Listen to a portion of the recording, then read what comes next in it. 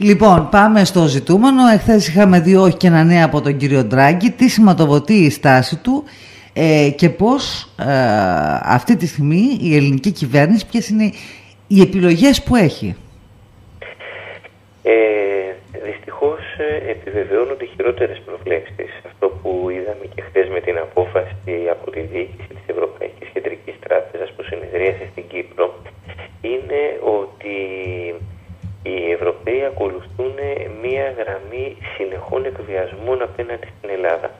Ε, να θυμίσουμε καταρχήν ότι πριν από λίγες εβδομάδες η Ευρωπαϊκή Κεντρική Τράπεζα έχει θέσει ως όρο ε, για να βοηθήσει την Ελλάδα να αντιμετωπίσει ε, την διαφαινόμενη, την, ε, αυτή την υφέρπουσα πιστοτική ασφυξία ε, λέγοντας ότι προϋπόθεση για να βοηθήσουμε είναι να υπάρχει πρόγραμμα μετά την 1η Μαρτίου.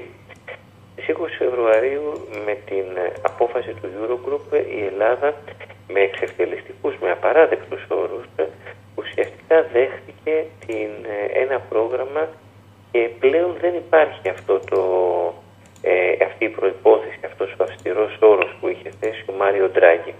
Θα περίμενε λοιπόν κάποιος ότι η ανταπόκριση της διοίκησης της Ευρωπαϊκής Κεντρικής Τράπεζας θα ήταν πολύ διαφορετική.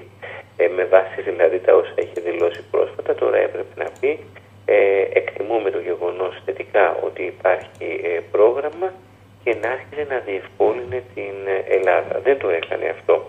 Η, απο, η μοναδική θετική απόφαση που έλαβε χθες η ΕΚΟΤΟΥ αφορούσε ε, μία επιπλέον παροχή ρευστότητα 500 εκατομμυρίων ευρώ ε, μέσω του μηχανισμού του ELA, του μηχανισμού έκτακτης παροχής ρευστότητα. Ε, ταυτόχρονα ε, η Ευρωπαϊκή Κεντρική Τράπεζα δήλωσε πως δεν πρόκειται να δεχτεί ε, τα ελληνικά ομόλογα για, ως συνέχεια για την παροχή ρευστότητα, ούτε το σημαντικότερο ε, πρόκειται να συνενέσει στο πλαφόν που έχει βάλει για την έκδοση εντόπων γραμματείων ε, από τη μεριά της ελληνικής κυβέρνησης που ήταν μια ασφαλής εύκολη διέξοδος και δοκιμασμένη μάλιστα για να αντιμετωπίσει τα προβλήματα ρευστότητας ε, που αντιμετωπίζει αυτή τη στιγμή η Ελλάδα. Θα πρέπει Κατερίνα να τονίσουμε στους ακροατές μας ε, ότι τα προβλήματα ρευστότητας που αντιμετωπίζει η Ελλάδα δεν σχετίζονται άμεσα με την ε, κάλυψη των αναγκών του κρατικού προπολογισμού. Δεν πρόκειται, θέλω να πω, να πάνε τα λεφτά αυτά ε, σε συντάξει και νοσοκομεία. Ε, σήμερα, ε, Παρασκευή 6 Μαρτίου, η ελληνική κυβέρνηση πρέπει να πληρώσει ε, σχεδόν 300 δισεκατομμύρια ευρώ στο Διεθνές Νομισματικό Ταμείο και είναι μία δόση που προέρχεται από το πρώτο δάνειο διάσωσης, αυτό που είχε συμφωνηθεί το 2010 και επίσης να αποπληρώσει 1,4 δισεκατομμύρια σε έντοκα γραμμάτια. Επιπλέον, την επόμενη Παρασκευή, 13 ε, Μαρτίου, ε, η ελληνική κυβέρνηση πρέπει να πληρώσει 356 εκατομμύρια ευρώ πάλι στο Διεθνές Νομισματικό Ταμείο και 1,6 δισεκατομμύρια ευρώ σε έντοκα γραμμάτια. Τονίζω αυτές τις, ε, ε, τις πληρωμές, το που πάνε δηλαδή οι πληρωμές, την ταυτότητα πληρωμής όπως τα έλεγε και η ελληνική εφορία, προκειμένου να τονίσω το παράδοξο ε, του όλου πράγματος. Το παράδοξο έγινε στο εξής ότι η Ελλάδα, κακώς κατά την άποψή μου, όπως επανειλημμένες φορές έχουμε συζητήσει, έχει δεχτεί να ε, εκπληρώνει όλες τις, τις υποχρεώσεις στο ακέραιο και αντί να τη διευκολύνουν να το κάνει αυτό οι πιστωτές μας, θα τις βάζουν ε, στην πραγματικότητα την ε, στο λαιμό. Αυτό ε, μπορεί να είναι δηλαδή, ένα... Ε, ουσιαστικά εδώ πρόκειται για έναν ανήθικο εκβιασμό γιατί οι πιστωτές δεν μας δίνουν λεφτά για να τα ξαναπάρουν πίσω. Μας απειλούν, ε, μας εκβιάζουν συνεχώς να ληφθούν αντεργατικά αντιλαϊκά μέτρα ε, προκειμένου να μας δώσουν λεφτά για να τους τα ξαναδώσουμε. Όπως καταλαβαίνετε, ε, ένα, έχοντας αυτό το κάδρο στην ολότητά του, στην πληρότητά του μπροστά στα μάτια μας, καταλαβαίνουμε για ποιο λόγο ε, ουσιαστικά η ελληνική κυβέρνηση έχει παγιδευτεί ε, μέσα από τις συνεχείς υποχωρήσεις της σε αυτήν την ε, παγίδα παγίδα που τις έχουν στήσει ε, οι Ευρωπαίοι συνολικά οι πιστωτές ε, από την πρώτη στιγμή που έκανε το πρώτο βήμα πίσω ε, στις διαπραγματεύσεις μαζί τους Κατέρινα. Επομένως θεωρείς ήταν λάθος η τακτική της υποχώρησης; Ακριβώς, ήταν λάθος και φάνηκε τώρα. Ε, την έχουμε δει με, διαφορετικού, με διαφορετικούς φυσικά πρωταγωνιστές και με ε, ε, διαφορετικά επίδεικα στα σημεία διαφορετικά έτσι. Ε, πέντε χρόνια τώρα αυτή την τακτική. Ε, κάθε φορά οι πιστωτές εκβιάζουν και με το που θα πάρουν την πρώτη υποχώρηση αποδεικνύονται προκλητικά συνεπείς σε σχέση με το τι είχαν ε, υποσχεθεί.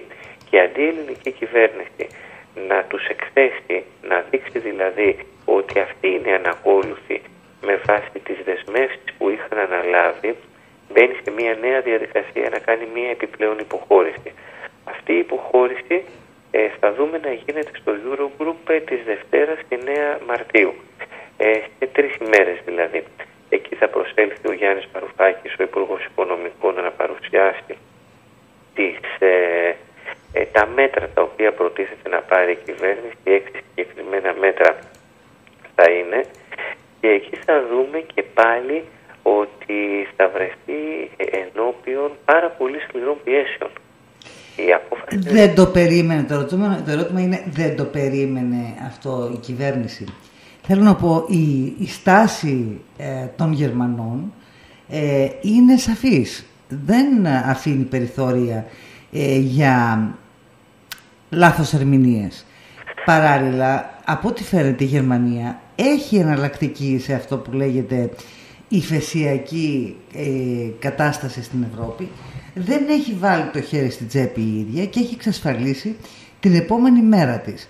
Ε, η ανισοτιμία και η επιλεκτική διαχείριση των χωρών είναι επίσης ένα γεγονός, όπως γεγονός είναι ότι δεν θα επιτρέψουν οι δυνάμεις της αγοράς σε ένα αριστερό κόμμα ε, να φέρει σπιράλ εξελίξεων στην Ευρώπη. Το είπε και ο κύριος Γιούγκερ εχθές. Είπε ότι ΣΥΡΙΖΑ και Ποντέμος θα δημιουργήσουν στην Ευρώπη εμπλοκές. Ε, η αλήθεια, Κατερίνα, είναι πως αυτό το ερώτημα που έθεσες αρχικά, αν το περίμενε αυτό η ελληνική κυβέρνηση ή όχι, ε, έχει τεθεί, μας έχει πρέπει, ε, όφιλε τουλάχιστον να μας επασχολήσει πάρα πολλές φορές από τις 25 Ιανουαρίου. Ε, και ο λόγος είναι ο εξής ότι ειδικά μετά το ότι συνέβη στην Κύπρο τον Μάρτιο του 2013 όταν οι Ευρωπαίοι ουσιαστικά απείλησαν με οικονομική ασφυξία τις τράπεζες εάν η κυβέρνηση του, Αναστα... του Πρόεδρου Αναστασιάδη δεν δεχόταν ε, να, ε, το κούρεμα των καταθέσεων, να φτάνουν τα λεφτά των Κυπρίων δηλαδή και των ξένων καταθετών, ε, ήταν, είναι εμφανές ότι απέναντί μας δεν έχουμε να κάνουμε με μια κυβέρνηση, με έναν θεσμό ο οποίος σέβεται το εκλογικό αποτέλεσμα, την αυτοτέλεια των κρατών μελών κτλ. κτλ. Έχουμε να κάνουμε με κοινούς εκβιαστές. Ε, αυτό είναι το Eurogroup, αυτή είναι η Ευρωπαϊκή Κεντρική Τράπεζα, αυτή είναι η Γερμανία. Ε, όφιλε λοιπόν να το ξέρει προφανώς. Αυτή είναι η απάντηση που υπάρχει στο ερώτημά σου και προκαλεί εντύπωση και όφιλε να ξέρει επίσης ε, ότι κάθε υποχώρησή της θα ακολουθούν νέες πιέσεις, νέα υποχώρηση, νέα αντιλαϊκά μέτρα και ούτω καθεξής. Ε, γι' αυτό το λόγο λοιπόν είμαστε ενώπιον ενός φαύλου κύκλου ο οποίος πρέπει επιτέλους να σπάσει. Ε, να θυμίσω στους ακροατές μας Κατερίνα ότι τα λόγια που είπε ο επικεφαλής της, ο, ο αντιπρόσωπος της Βραζιλίας στο Διεθνές Νομισματικό Ταμείο μιλώντας χτες στην τηλεόραση του Α ο οποίος ε, προς τιμή του ε, είπε πως ε, τα δάνεια που έχουν δοθεί στην Ελλάδα δεν αποτελούν και μια από τις πιο λαμπρές στιγμές του δούνου του. Ε, καταλαβαίνουμε ότι για να τα λέει αυτά ένας άνθρωπος τόσο υψηλά ιστάμενος, ε, πόσα περισσότερα πράγματα υπονοεί. Ο κύριος Μπατίστα είναι υπεύθυνος στο δούνο του για την χώρα. ναι, και, και, και για 10 επιπλέον χώρες της Λατινικής Αμερικής. Και ανέφερε επίσης πάρα πολύ καθαρά ότι τα λεφτά που του δούνου του ε, χρησιμοποιήθηκαν για τη διαφυγή των γαλλικών και γερμανικών τραπεζών ε, από το ελληνικό χρέος οι οποίες αποζημιώθηκαν στο ακέραιο και για το ρίσκο που ανέλαβαν δεν πλήρωσαν ούτε ένα ευρώ παραπάνω. Είναι επιχειρήματα αυτά ε, τα οποία ε, μπορεί να τα χρησιμοποιήσει η ελληνική κυβέρνηση για να σκληρύνει τη στάση της. Όσο δεν το κάνει αυτό θα είναι αναγκασμένη να ακυρώνει όλο και περισσότερα μέτρα από το φιλολαϊκό πρόγραμμα της Θεσσαλονίκης που είχε εξαγγείλει το Σεπτέμβριο ο Πρωθυπουργός. Να θυμίσω επίσης ότι ο κύριος Μπατίστα ε, ήταν κατηγορηματικός ότι η Ελλάδα πρέπει να διαγράψει χρέος από τους Ευρωπαίους. Ε, έκρινε πως είναι αδύνατο να πληρωθεί αυτό το δημόσιο χρέος και πως είναι ε, αναπόφευκτο, αναγκαίο για την Ελλάδα να προχωρήσει σε ένα γενναίο κούρεμα του χρέους που κρατάνε, ε, που κρατάνε οι Ευρωπαίοι από το συνολικό ποσό των 324 δισεκατομμυρίων ευρώ που έχει φτάσει σήμερα το δημόσιο χρέος, Κατερίνα. Ε, η, η λύση για την Ελλάδα θα είναι μια, ε, λες, πρέπει να είναι μια δυναμική διαφοροποίηση ε, και να μεταφέρω το ερώτημα ενός ακροατή μας. Ε, ρωτάει, πιστεύετε ότι υπάρχει απόφαση των Γερμανών να μας πετάξουν έξω από το ευρώ ή να συμπληρώσω εγώ το ερώτημα το σχέδιο είναι να καταρρεύσει η κυβέρνηση ε, αν κανείς λάβει υπόψη του τις χθεσινές δηλώσεις του κυρίου Σαμαρά ότι πολύ σύντομα θα κληθούμε να ξανασώσουμε τη χώρα είναι μια επένδυση αυτή να μην πετύχει η κυβέρνηση Τσίπρα. Επομένως, μια ρήξη τι θα μπορούσε να φέρει και πόσο μπορεί να την αντέξουν οι πολίτες και ε, οι υποχωρήσεις τι μπορεί να σηματοδοτήσουν. Ε, καταρχήν να απαντήσουμε στο ερώτημα του ακροατή μας. Ε, η Γερμανία θα κάνει τα πάντα ό,τι είναι ανθρωπίνως δυνατόν για να αποφευχθεί η έξοδος της Ελλάδας από την Ευρωζώνη. Ε, ο χαμένος ενός Brexit είναι αποκλειστικά και μόνο η Γερμανία.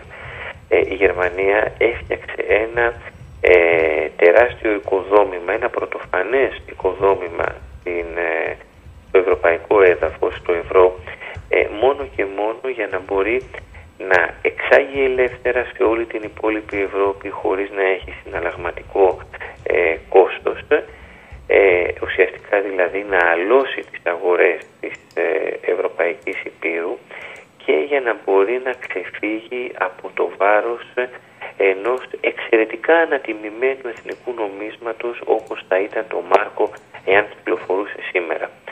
Ε, πέτυχε δηλαδή ένα ε, διπλό, ένα τεράστιο κέρδος με αποτέλεσμα να μπορεί επιτυχώς η εξαγωγική της μηχανή σήμερα να έχει ε, καταπληκτικές επιδόσεις στην παγκόσμια αγορά. Αυτό το επίτευγμα της Γερμανίας στηρίζεται σε μια ε, υπόρρητη παραδοχή. Ε, σε, ένα, σε μια δηλαδή παραδοχή η οποία ποτέ δεν έχει λεχθεί είναι όμως δεδομένη στις αγορές ε, σε πολιτικούς παντού. Ότι κάθε ένα βήμα που έγινε από το 2001 για να μην μπούμε από την υπογραφή της συνθήκης του Μάστριχτ ε, το 1991 μέχρι σήμερα ε, είναι μη αντιστρεπτό. Δηλαδή ε, η Ευρωζώνη αυξα... μεγεθύνεται, διευρύνεται ε, και δεν, κάνει, και δεν υπάρχει καμία περίπτωση ε, να μειωθεί ο αριθμός των κρατών μελών που την απαρτίζουν. Ε, καταλαβαίνουμε πολύ καλά πως εάν με την ίδια ευκολία που αυξάνονταν τα μέλη της Ευρωζώνης μειωνόταν ταυτόχρονα, τότε ε, θα ήταν ανα πάσα στιγμή θέμα συζήτησης, θα υπήρχε στο τραπέζι των διαπραγματεύσεων ακόμα και η εξαφάνιση του ευρώ.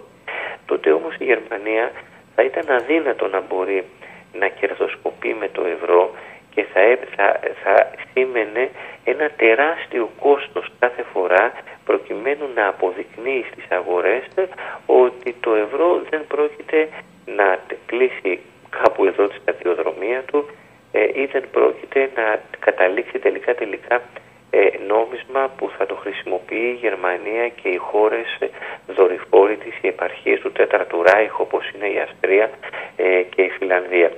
Γι' αυτό λοιπόν το λόγο η Γερμανία είναι ο μεγάλος χαμένος, θα είναι ο μεγάλος χαμένος ενός πιθανού Brexit και γι' αυτό το λόγο η ελληνική κυβέρνηση έχει τεράστια περιθώρια να εκβιάσει τους Γερμανούς ε, προκειμένου να πετύχει τα μεγαλύτερα δυνατά ωφέλη ξέροντας ότι οι Γερμανοί δεν θέλουν με τίποτε να, ε, ε, να, να χάσουν το ευρώ ή να αρχίσουν να σου το πω διαφορετικά. Ε, φανταστείτε να ξεκινούσαν τα στοιχήματα στην αγορά του συναλλάγματος για το πότε το ευρώ θα καταρρεύσει ή για το πότε ε, ποια χώρα θα φύγει πρώτη, ποια χώρα θα φύγει δεύτερη κτλ. Ε, υπάρχει εξαιρετική βιαιότητα σε αυτές τις αγορές. Ε, τα ε, ε στοιχήματα μυθικών ποσών έχουν οδηγήσει πολλές φορές στην κατάρρευση χωρών. Ας θυμηθούμε το στοίχημα του Σόρος το 1992 για να φύγει η Αγγλία από τον ε, μηχανισμό των συναλλαγματικών ισοτιμιών που υπήρχε εκείνη την εποχή, ένας προάγγελος του ευρώ, ε, το οποίο το έχει κερδίσει, έτσι.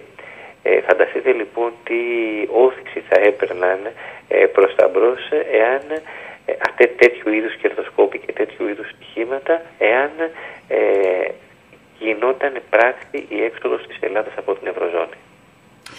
Τώρα, ε, Μπορεί η Ελλάδα να μην μπορεί να φύγει εύκολα από την Ευρωζώνη. Είναι δεδομένο όμως, είναι βέβαιο ότι η Γερμανία θα επιχειρήσει, η Λεωνίδα Βατικιώτη, ε, να ε, εξανεμίσει κάθε ελπίδα διαφορετικής πολιτικής. Η, η, άκουσα χθες τον κύριο Σταδάκη να λέει ότι μέσα στο Μάρτιο δεν θα υπάρχει κανένα πρόβλημα ρευστότητας. Ε, προσδιορίσε τον Μάρτιο ο κύριος Σταδάκης. Δεν μίλησε για τον Απρίλιο ή τον Μάη.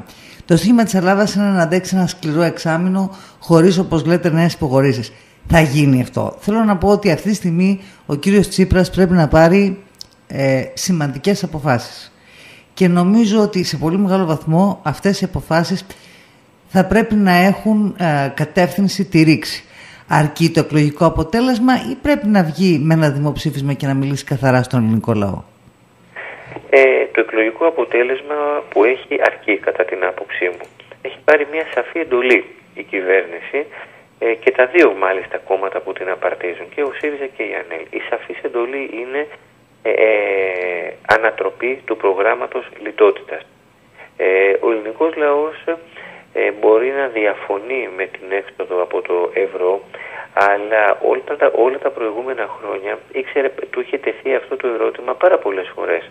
Ο Αντώνης Καμαράς πάρα πολλές φορές έλεγε πως η μη συμμόρφωση και το αντάρτικο απέναντι στους εταίρους μας εντός εισαγωγικών το τελευταίο ε, θα μας οδηγήσει σε έξοδο ε, από το ευρώ και μπορεί αυτό φυσικά να μην το έλεγε έτσι ρητά, ε, το έλεγε μάλλον, άλλες φορές όμως το έλεγε πιο καλυμμένα, έλεγε θα φύγουμε από την Ευρώπη λες και θα κινηθούν οι τεκτονικές πλάτες, ε, πλάκες της Υπήρου μας. Ε, ο ελληνικός λαός λοιπόν όταν ψήφισε ρήξη ε, με το καθεστώς λιτότητας, όταν ψήφισε αλλαγή του οικονομικού υποδείγματος, ε, έδωσε αυτή την εντολή να τη διαχειριστεί ε, ο ΣΥΡΙΖΑ με κάθε κόστος, με κάθε τρόπο.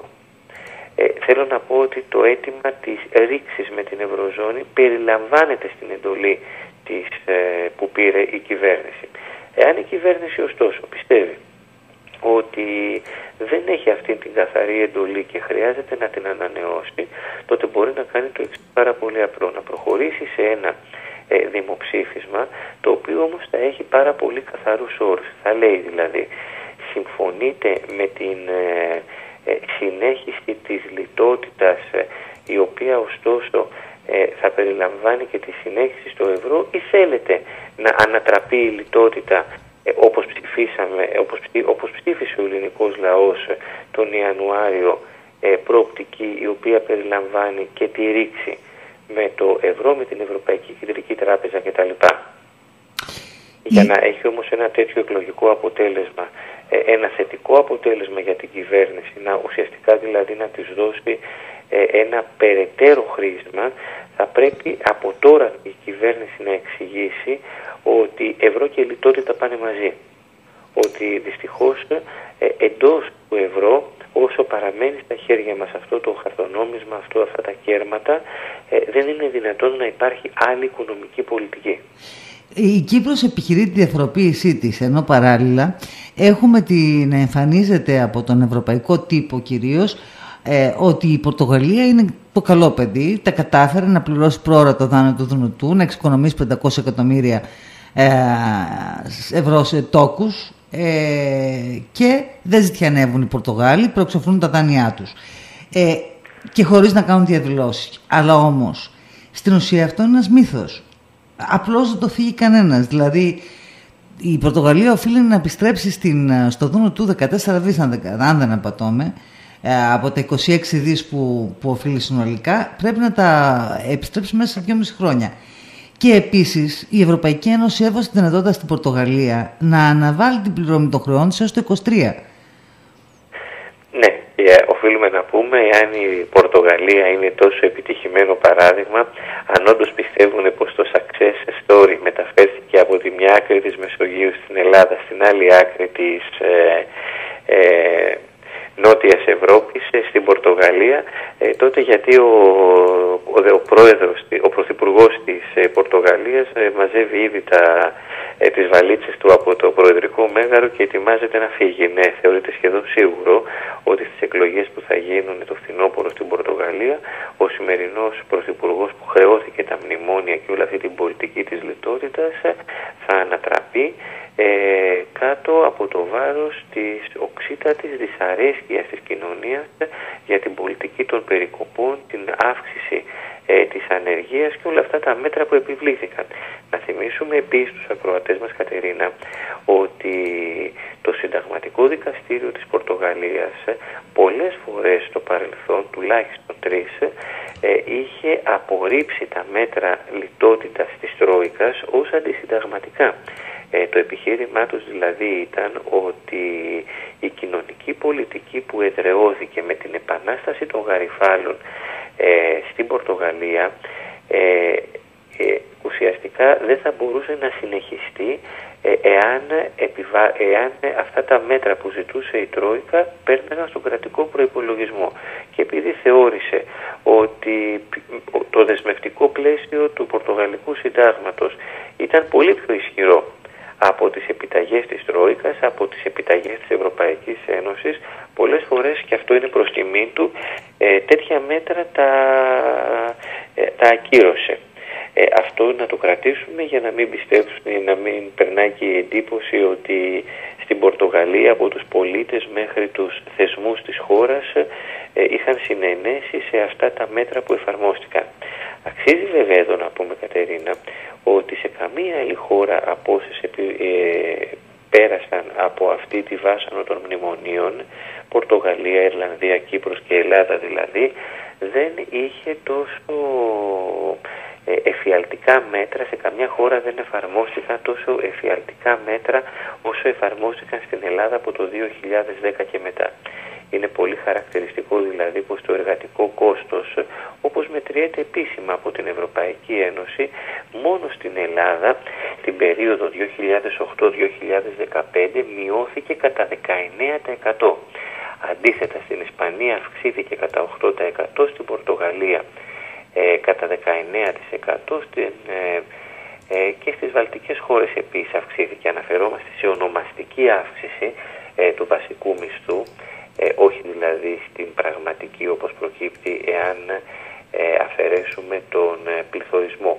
Αυτό που κρατάμε δηλαδή είναι πως σε καμία άλλη χώρα, ούτε και στην Πορτογαλία, δεν εφαρμόστηκαν τόσο βάρβαρα μέτρα λιτότητας όσο εφαρμόστηκαν στην Ελλάδα. Και ο υπέτειος φυσικά εδώ είναι οι κυβερνήσεις μας, έτσι.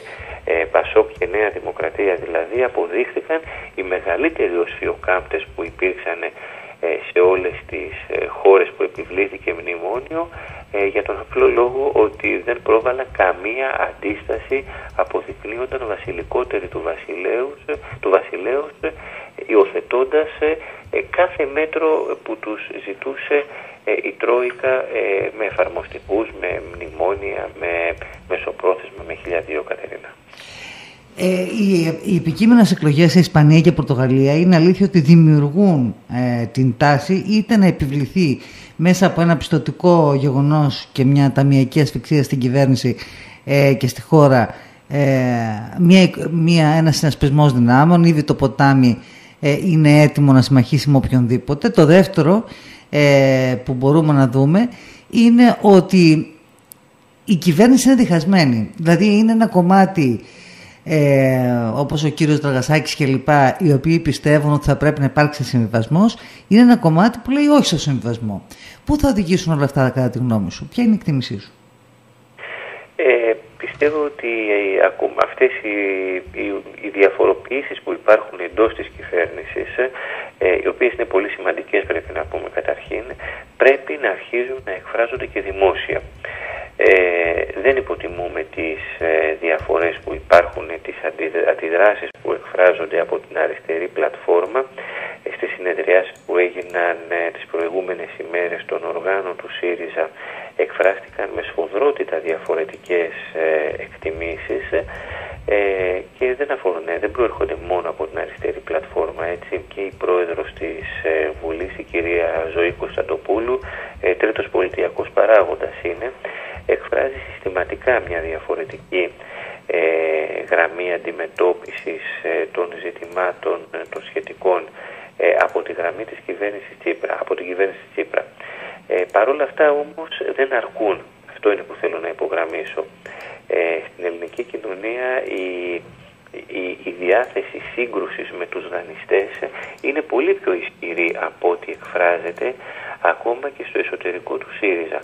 Πρέπει λοιπόν και από τους ανεξάρτητους Έλληνες να καταλάβουν ότι η γραμμή ε, που έχουν να ε, θάβουν κάτω από το χαλί τις διαφωνίες δεν τους βοηθάει. Ε, οι διαφωνίες πρέπει να εκφραστούν για να καταλάβουν και οι πιστωτές ότι σε αυτή την κοινωνία, σε αυτή τη χώρα υπάρχει ένα κομμάτι της κοινωνίας το οποίο αντιδράει δυναμικά και δεν πρόκειται να δεχτεί με κανένα τρόπο ένα νέο μνημόνιο όπως αυτό που, σχεδιάζεται να έρθει ε, όταν θα λήξει η, η τετράμινη περίοδος της διαπραγμάτευσης ε, στα τέλη Ιούνιου, αρχές Ιούλη δηλαδή, που πιθανότατα να συνοδεύσει και ένα νέο δάνειο ύψος 30 δισεκατομμυρίων, 50 δισεκατομμύρια.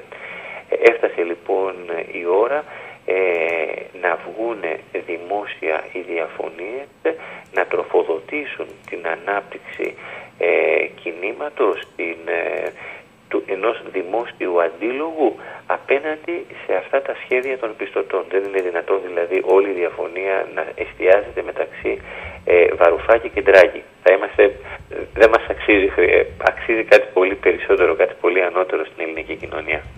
Να σε ευχαριστήσω πάρα πολύ, Λονίδα ότι Εύχομαι πολύ καλό τριήμερο. Ευχάριστο έτσι να ξεκουραστείτε κι εσείς λιγάκι εκεί και να ξεκουραστούν και οι πολίτες. Αν και οι ανησυχίες δεν θα ησυχάσουν μέσα από την ευεργετική επίδραση ενός Σαββατοκύριακου. Εν πάση περιπτώσει θα δούμε τι θα γίνει. Ρίξει λοιπόν και διαφοροποίηση τώρα πριν να είναι πολύ αργά. Σωστά; Ακριβώς. Ακριβώς Κατερίνα. Καλημέρα, καλημέρα. Καλημέρα και καλή συνέχεια.